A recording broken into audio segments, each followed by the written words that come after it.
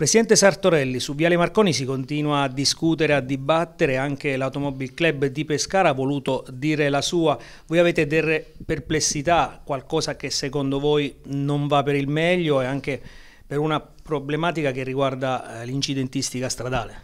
Ma noi siamo intervenuti già nel novembre del 2021 proprio per dare alcuni nost nostri suggerimenti, per carità poi possono essere accettati o meno, ma pensavamo già all'epoca, e lo abbiamo ribadito in questi giorni, che la nuova viabilità studiata su Viale Marconi crea delle difficoltà solo, solo, ed esclusivamente sulla sicurezza stradale perché gli utenti deboli non sono sicuramente tutelati.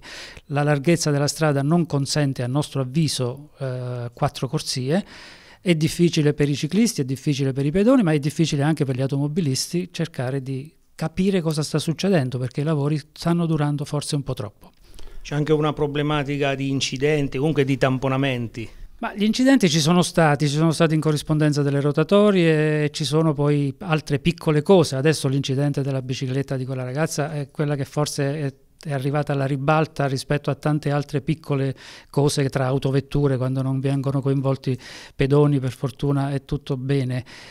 Noi siamo meravigliati anche perché questa amministrazione sta facendo grandi cose per la mobilità. Noi apprezziamo molto il lavoro dell'assessore Luigi Arbore Mascia perché sta cercando di risolvere alcune problematiche antiche, antichissime.